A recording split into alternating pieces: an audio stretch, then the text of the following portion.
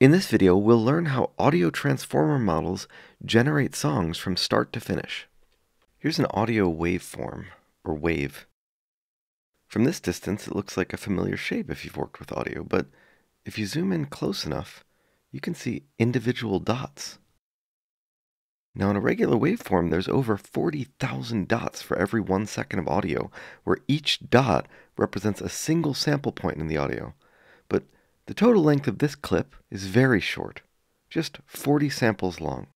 This is so that you can see how the audio models work on a token level. Just like language models can turn text into tokens constructed from letters, audio models can turn audio into tokens constructed from samples. Here's the same waveform that we were just looking at, but now broken up into four tokens, each 10 samples long. Notice how the ending sample point of token A connects smoothly to the beginning sample point of token B, the end of B to the beginning of C, and so on. The goal of the audio model is to guess what token comes next. Here's what it looks like to have a token B whose beginning doesn't follow the ending of token A.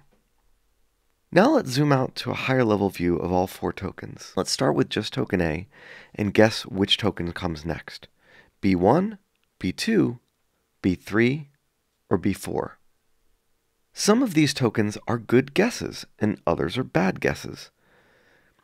By training the model to play a guessing game over and over and over again, the model starts to understand what a good guess is, and it can fill out an entire song just by playing a series of guess the next token over and over and over again.